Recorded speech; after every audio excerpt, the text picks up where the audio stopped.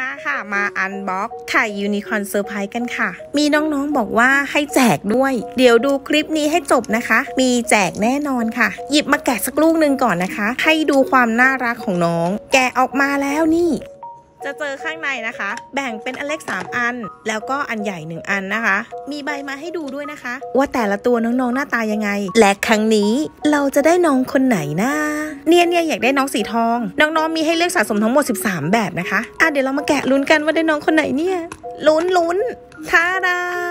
อะน้องน่ารัก ในนี้นะคะก็จะมี 2 ชิ้น มีน้องยูนิคอร์นสีส้มนี่ แล้วก็มีทรงผมด้วยนี่อะ ใส่ให้น้องหน่อย